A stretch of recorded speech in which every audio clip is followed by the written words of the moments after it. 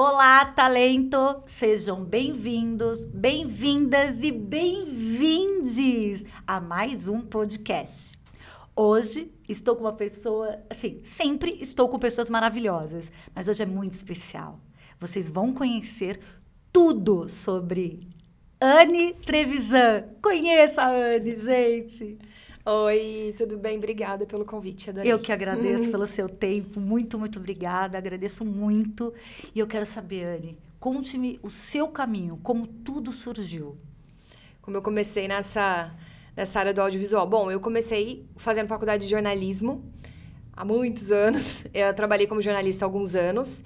É, trabalhei sempre em televisão, então sempre é, meu contato sempre foi é, com jornalismo de TV. Fiz alguns anos é, em, em hard news e aí decidi que eu queria ir para a linha de show. Aí eu fui fazer uma segunda faculdade para tirar meu DRT de radialista. É, e aí fui fazer alguns programas de entretenimento. Né? Fiz alguns programas de talk show, sempre na produção artística, na produção de convidados, de bandas, de, é, de área musical. E aí fiz um tempão de Marília Gabriela no SBT. Depois eu fui para Sabrina Sato na Record. No Roberto, é, fiz Roberto Justo também na Record. E aí, em 2015, eu fui fazer um, um talk show também, um programa como era o da Gabi, mas com Tom Cavalcante no Multishow. E aí, nesse programa, além do, da produção artística e de, de música, eu tinha uma parte de dramaturgia, um quadro de dramaturgia. E aí foi meu primeiro contato com produção de elenco. E aí eu fiquei completamente apaixonada. Fui estudar, tirei meu DRT de, de profissional também do audiovisual, é, de cinema. E, e aí comecei a atuar e assim, hoje 90% dos meus trabalhos são direcionados à produção de elenco, né, direção de elenco. E eu tô super feliz. Foi, foi, foi assim, basicamente é, essa foi a minha trajetória e é onde eu me encontro hoje. É, eu vejo. Você está reverberando. Ela está com diversas séries. É, conta um pouco das séries, inclusive o Coro, que eu já assisti. Magnífico entre outros. Conta quais são as mais novas séries que você. É, eu fiz, eu, eu fiz muita coisa, muito sitcom pelo Multishow, que foi uma, uma escola, assim. para mim, é, eu gosto muito de fazer comédia. Então, eu já fiz alguns, algumas séries é, pro Multishow, como o Chilindró, os Rony. É, depois eu fiz, eu fiz um longa é, também de humor, chamado Detetive Madenusa. É, agora eu entreguei a segunda temporada do LOL para Amazon, que é um, um, é um reality de, de comediantes, assim, muito, muito interessante. Já assisti também. É, Meu marido adora essas coisas. Já, já assisti, muito bom. Vai estrear a segunda temporada. E fiz para Disney Plus agora, fiz o Coro, que é um, foi uma grande experiência, porque foi uma mistura de, de teatro musical, né? Com audiovisual. Então foi um, um grande desafio fechar esse elenco, encontrar multitalentos que eu chamo, né? Que a gente precisava de talentos jovens, frescos, que cantem, dancem, atuem, sejam bonitos. Então foi um, foi um, foram meses de, de, de, de audição. E aí ficou lindo no ar, o resultado foi muito legal. Tô gravando agora um O Sonho é Sílaba, que é um outro projeto da Disney Plus. É, fiz uma série de humor agora para Globo, pra Globoplay. E, nossa, muita coisa. É, mas basicamente é isso. Os últimos trabalhos foram, foram esses. Maravilha, trabalhando uhum. muito, isso é muito, muito bom. Me fala como que é a seleção, como que onde você procura o elenco, né? E como é que é a seleção de elenco? É, as pessoas, os talentos têm muitas dúvidas, né? Muitas, muitos me perguntam: ah, onde que eu fico sabendo de teste? Onde que eu fico sabendo dos jobs? E assim, no meu caso, 90% dos projetos que eu assino, eles são sigilosos, então eu não posso abrir.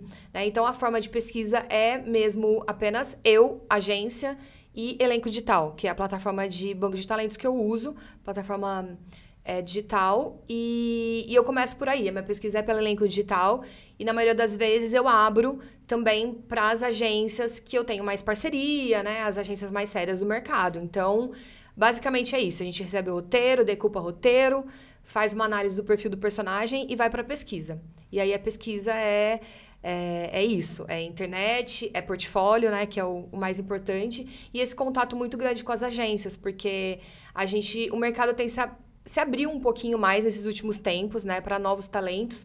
E as agências são muito importantes, assim, para nos dar esse caminho, sabe? De talentos que a gente não conhece, que tá naquele perfil que a gente precisa. Então, o processo de busca de talentos através de pesquisa, no meu caso, é esse. É somente a, a, elenco digital que você usa ou tem outras plataformas também? Eu uso só elenco digital. Ela me atende porque eu, na, na demanda que eu tenho hoje, né? Eu sou uma, uma diretora de elenco assinante, então eu utilizo a plataforma mesmo, assim. Eu é também uma, utilizo. É, é uma plataforma muito democrática, né? Eu costumo dizer que ela é muito benéfica para os talentos. Se o talento está com um perfil atualizado ali, ele tem grandes chances, porque os maiores produtores de elenco ali, a maioria, né, tá ali, tem outros que não estão, mas a maioria está. Então, eu uso mesmo a plataforma. E aí, algumas vezes abro, é, quando eu não encontro algum caso específico, que foi o nosso, que a gente fez um trabalho agora, né? Que eu precisava de um ator americano e tal. Como foi essa busca? Eu fiquei curiosa. É, foi mais ou menos no mesmo sentido, né? O diretor, é, ele, ele me passou o perfil do personagem, então eu precisava de um jovem é, que fosse americano, mas ao mesmo tempo que falasse português e que, se possível, tivesse uma ligação aqui com o Brasil, né? No caso do, do ator que a gente escolheu, ele ele tinha uma empresa aqui, então isso foi muito bom na hora da parte burocrática da coisa. E aí a, a pesquisa não foi tão difícil. Porque o, o mercado brasileiro ele tá um pouco mais aberto, sabe? Então tem alguns talentos que realmente têm trabalhado aqui, gostam de trabalhar aqui, vêm trabalhar aqui por prazer e tudo mais. Então não foi tão difícil, mas é um perfil que exige um pouco mais de pesquisa, né? Não é uma coisa tão básica que a gente está acostumado a trabalhar. Mas basicamente foi isso. E quem eu, escolhe... E eu encontrei o, o Anthony pela elenco digital. Não sei se Isso, podia falar foi, o nome. Mas... Pode, foi pelo elenco digital. foi pelo elenco digital, foi. e aí te liguei. E aí a gente trocou figurinha e você me contou da disponibilidade dele de vir. Então, acho que foi mais isso. Acho que é bem o momento da, do, do ator estar tá preparado também, porque a gente pediu um self-tape para ele, foi super bem. Então, é, foi mais ou menos isso. É o que eu digo para todo o meu elenco. Atualizar o cadastro, cadastro na elenco digital, manter sempre ativo e para que vocês, produtores de elenco, veja. É. E qual a dica? É, tem alguma foto específica que você gosta que na primeira foto, na segunda foto e o link? é, Tem alguma dica que você queira dar? Tipo, olha, não adianta ficar colocando milhões de vídeos, milhões de coisas e... É, eu costumo dizer assim, as minhas dicas, quando eu, eu faço as, as minhas consultorias ou eu bato papo com talento no geral, eu sempre uso elenco digital como exemplo porque é o que eu uso, mas é, essas dicas elas valem para todas as plataformas e até para quem não tem plataforma tem apenas rede social também. Então, é, para mim, quando a gente vai fazer a, o, a busca do perfil, a primeira coisa que a gente olha é a foto. Porque, assim, 80% dos personagens, ele tem um perfil espe específico, né? Então, eu preciso ir atrás. Homem, é mulher, a cor do cabelo, às vezes tem uma família, se é criança, é, tem um perfil bem específico. Então, encontramos o perfil, a foto é muito importante. Né? Às vezes a gente encontra um talento que... Às vezes ele tem talento, só que a foto dele, sei lá, tá em casa de boné, não é uma coisa profissional. Então, assim, a gente sempre pede uma foto neutra, uma foto básica, sem. Antigamente tinha muito aquela coisa, ai, ah, vamos fazer um book maravilhoso, com 10 mil poses, É, com 3 não. mil looks. Isso não tem mais necessidade nenhuma. Por isso que a gente pede para atualizar a cada seis meses, um ano, se for criança, adolescente, mais vezes. Mas sempre com fotos mais básicas, um look básico, um fundo neutro. É o que a gente precisa. E uma luz, né? Uma luz boa pra gente poder enxergar o rosto. né? Às vezes tem. Ontem mesmo eu fiz uma consultoria com uma uma atriz que a foto dela tava, boa, mas ela tinha uma sombra no olho, eu não conseguia ver o olhar dela. Então, às vezes a gente acha que a foto tá legal porque é profissional, porque o look tá legal, mas a, a, a luz ela interfere muito. Então, uma foto bem tirada é, é o começo de tudo, né? Então, a, fomos pela foto, putz, tá dentro do perfil que eu preciso. Meu segundo passo é sempre entender a experiência desse talento. Porque às vezes o talento ele já fez várias peças de teatro, já fez longa, já fez alguma série e não tem esse material ainda de portfólio. Então eu gosto de saber o que, que ele já fez, onde ele já estudou e eu vou muito naquela mini biografia, né? Eu uso muito aquilo. Eu sempre peço para as pessoas manterem atualizadas e sempre começar com o mais importante. Não adianta começar é, falando de 1900 sei lá, me formei em direito, mas aí mudei para não, é, é tipo assim, me qual é a sua formação profissional, qual curso você fez de teatro, de audiovisual e os principais trabalhos. Então, para mim, ali é muito importante, porque eu já consigo entender ali por onde aquela pessoa já, já circulou, né? Se ela já tem algum tipo de experiência, é, e qual nível ela se encontra, sabe? Se for, se é um papel secundário, se segura, né? Se é uma participação, se tem noção de, de câmera e tudo mais. E aí o terceiro e o principal ponto é o portfólio, né? E quem não tem experiência, você dá chance? Ó, o mercado se abriu um pouco mais agora para esses novos talentos e eu costumo dizer que as pessoas confundem muito experiência é, com trabalho. A pessoa ela consegue adquirir experiência estudando, fazendo curso de teatro, estando em cima dos palcos, fazendo um curso de audiovisual livre, é, é, sei lá, conseguindo colher materiais que eu consigo ver que ela tem o timing, que ela é boa, que ela tem o dom, que ela tem o talento. Claro, é, é, muito mais interessante eu avaliar um material de uma pessoa que já teve um longa, que já teve uma série, que tem uma série, uma cena linda com um ator conhecido. É muito mais fácil de avaliar. Mas às vezes o talento não tem isso, mas tem um bom monólogo, ou tem uma cena que foi gravada num curso de audiovisual livre, com qualidade, com uma luz boa, com um texto bacana, sabe? Um material que jogue a seu favor. Então, assim, é, muitas pessoas ainda não têm uma experiência profissional ainda não conseguiram fazer uma série, um longo, um papel grande, mas já conseguiram fazer coisas menores, ou já tiveram no teatro, ou já estudaram bastante. Então, isso também é experiência, sabe? Publicidade. Você eu faço muito pouco consegue, publicidade. Mas para avaliar um elenco, ele te mandando comerciais de TV, você consegue ah, dar uma avaliada? É, isso é uma coisa que sempre me, me perguntam, assim. É. Se é uma participação muito pequena, sem fala, não, pra gente não interessa Só muito. Só acting. É, não. não interessa muito. O que vale para mim mesmo é, é um pouco de texto. Né? Por isso que a gente pede self-tape, mas antes, antes do, de pedir o self-tape, antes de você edi ser editado para qualquer coisa, eu preciso ter um material que, que eu olhe e enxergue que ali você tem capacidade para pelo menos entrar numa seleção. Você é mais produtora para conteúdo. Eu faço mais conteúdo. Já fiz algumas Publicidade, publicidades. Não mais. É, mas é, como o mercado estava bem aquecido, assim, nesses últimos, nesses últimos anos, prioritariamente eu tenho feito mais conteúdo. Você é uma produtora fixa do Miguel Falabella? Ou não, como é que é? Não, não, não, não sou. Mas eu... você tem feito bastante trabalhos para ele. É, a gente, eu, eu, tenho feito algumas coisas pela produtora Formata, que tem essa parceria com a Disney, Plus aqui no Brasil. E aí, é por isso que, que foi. Mas fiz outras coisas pela Disney também que não era o Miguel, então tem outras, outras coisas, mas não tem nada de Nos fixo. projetos dele, é ele somente que escolhe ou tem uma não, o, o, normalmente todos os projetos que eu tenho feito, é, e eu acho que é assim na vida, o Miguel ele é super ativo, né? Nesse, no, no coro que eu fiz com ele, ele é o showrunner, então, assim, ele tem mais do que apenas. No coro ele ainda participava, dirigia, é. então as escolhas era muito em parceria dele com a Sininha, que é a, que é a diretora, e a Juliana também, que é a diretora da segunda, que foi a diretora da segunda temporada. E o canal também. É, dá opinião. Dá opinião, mas, assim, prioritariamente é, como foi tudo da cabeça dele, ele já sabe o que ele quer, da maneira que ele quer. É, as decisões finais, na maioria das vezes, são em comum acordo, mas sempre, sempre rolam um, um é, a gente sempre segue o caminho do que ele deseja, né? Porque é muito importante o diretor, essa visão do diretor, né? É, porque o elenco sempre pergunta: ah, mas eu não fui aprovado por quem? É. É, na verdade, assim, nesse momento, é, muitas vezes não, não, não é uma pessoa né? Muitas vezes uma pessoa, ou é, a gente fala que é um trabalho a muitas mãos, né?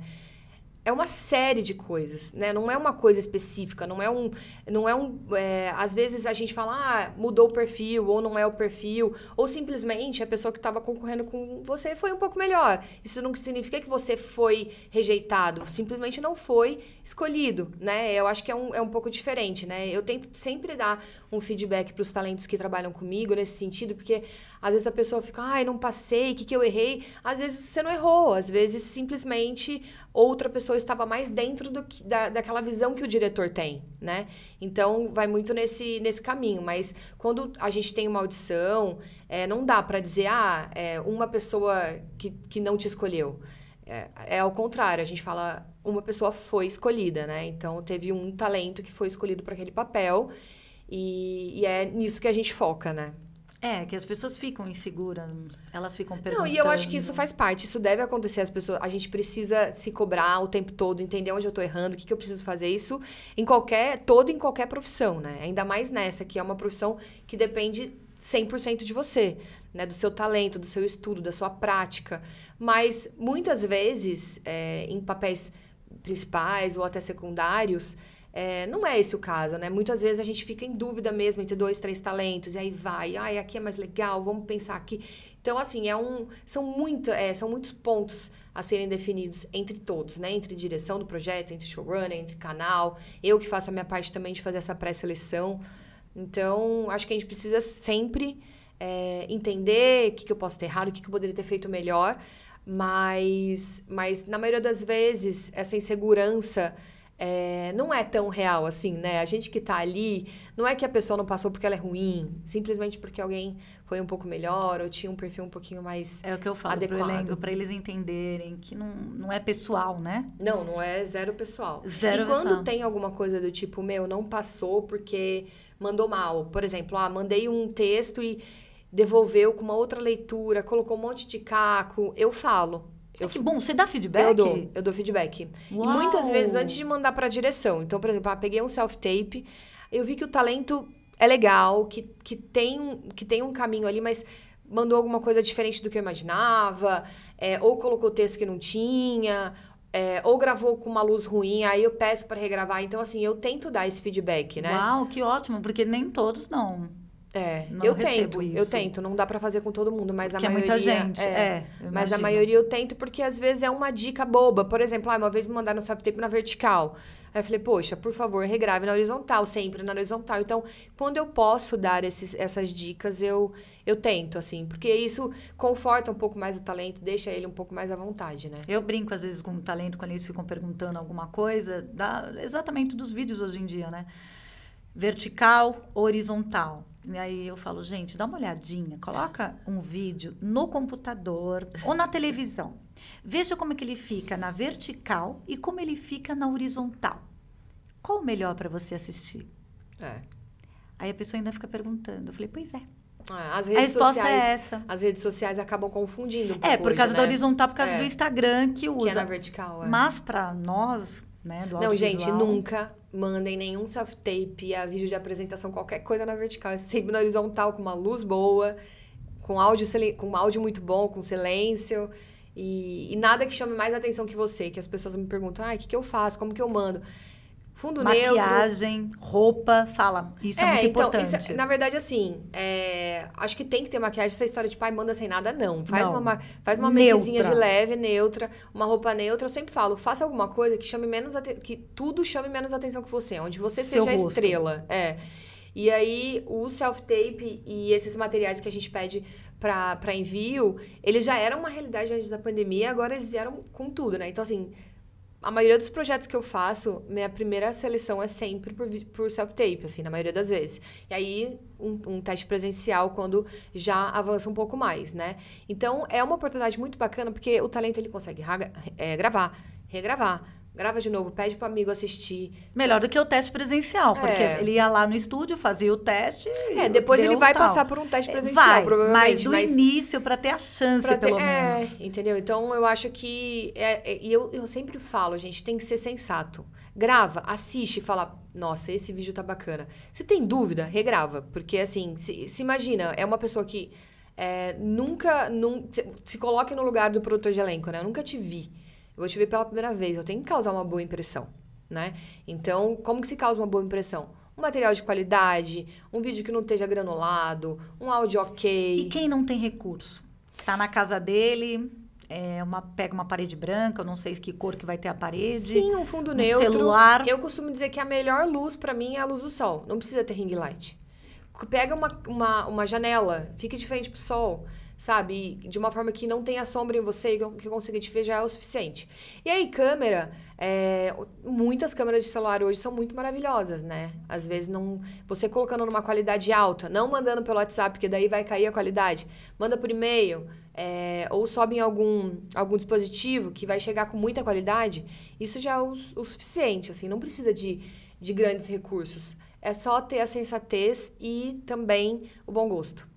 É, analise antes de enviar. É, Preste sim. atenção. Que é o que eu falo, preze sempre pela qualidade, não pela quantidade, sabe? As pessoas me perguntam, ah, o que, que eu coloco no elenco digital? Como que eu vejo meu portfólio? Eu sempre falo, não adianta você deixar lá 15 vídeos, mais ou menos.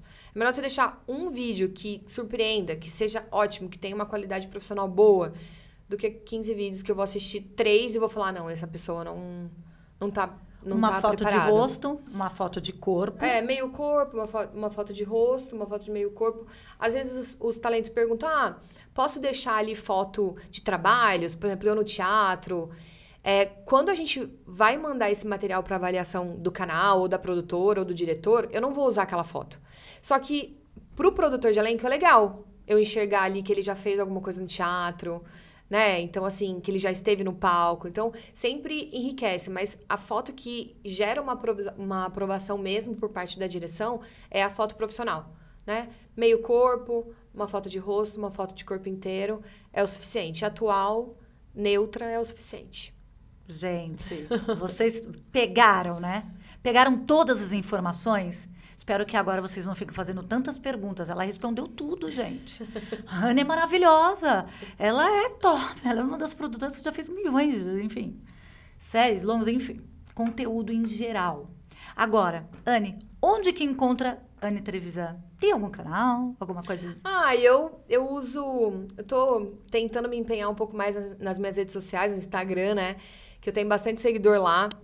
E às vezes eu tento é, falar um pouco com eles, porque eu gosto muito desse. Quando você me chamou, eu gostei, topei de cara, porque eu acho muito legal é, esse papo com os talentos. E, e tem muita gente de verdade que não sabe por onde começar, não sabe o que fazer, sabe? Que cai em, em golpes aí. Então eu gosto muito de falar, gosto muito de falar com pais também, que tem a criança ou adolescente ali que está começando na carreira e que fica totalmente perdido. Então, ali no meu Instagram, que é Anne Trevisan, elenco eu, eu tento mostrar algumas coisas, assim, tento falar um pouco mais. E basicamente é isso. Eu tenho um site também, mas é, meu Instagram eu sou mais ativa. E, inacreditavelmente, eu respondo quase todo mundo que me, que me manda lá. Eu gosto desse contato mesmo. Ai, assim. gente, que maravilhosa! Ainda mais infantil. Eu não sou uma agência infantil, sempre me perguntam. Eu não, não sei quem indicar também, mas eu sempre falo para os pais, eu fico muito preocupada quando às vezes me pedem adulto, ai, ah, tem criança, eu coloco para você ter uma ideia, um anúncio no meu condomínio e falo, olha, as crianças que tiverem, porque está no meu condomínio, Sim. me perguntem, eu indico tal, mas exatamente. Tem muita... Porque tem muita roubada, é muito perigoso. Eu sou mãe, você é. também é. Uhum. Então, é o que a gente não quer para nós, não queremos para ninguém. Mas tem muita agência séria e hoje Sim. a internet nos ajuda nisso, né? Mas dá assim, um Google, né? Tem, a gente fala, dá um Google. Mas tem uma dica que eu sempre que eu sempre dou para os pais é nunca caiu no golpe do teste, que isso é o que mais acontece, né? É. Ai, vamos agenciar a sua filha, você tem que pagar um valor mínimo de tantos, Ai. mas eu te garanto que ela vai fazer um trabalho daqui seis meses, então assim, não. Não existe isso. É, não. É, as agências, elas cobram um, um infantil, né? Em material fotográfico. Elas compram, mas é porque realmente agenciar crianças é trabalhoso. Muito, por é isso muito, não trabalho. É muito sério. Muito. Né? Então, assim, mas isso é uma coisa, você pagar um agenciamento. Outra coisa é você pagar. Eu sempre digo, não pague nem nunca nem 10 reais por um teste, isso não existe. É o contrário, né? Quando você é chamado por um teste, você exemplo, tem que ser remunerado. De publicidade, por exemplo, né? É, que tem o cachê teste, audiovisual não, mas publicidade tem. Então, assim, é sempre. Esse é o, é o primordial, é o que eu mais pego. Ah, eu paguei porque prometeu foto, prometeu um trabalho, prometeu aquilo outro e não, e não rolou. Então, mas tem muita agência séria que, fa que faz bom. trabalhos, assim, muito legal, é, trabalhos sérios é, com crianças e, e, é, e é muito importante. Mas eu também tenho é, encontrado muitos adultos que também têm muita, muitas dúvidas, tipo, meu, preciso de um direcionamento, para onde eu vou, o que eu faço. Então, eu tento fazer esse, esse papo com, com as pessoas que me procuram. E, e, é isso, mas. Este é o meu propósito. O podcast é para isso. É. Para eu trazer vocês, todos que eu já trabalho há mais de 20 anos, e eu quero isso, passar informações para as pessoas, para não terem dúvidas. Essa confiança eu acho que é primordial. E, e ajudando o próximo, isso já me faz muito bem.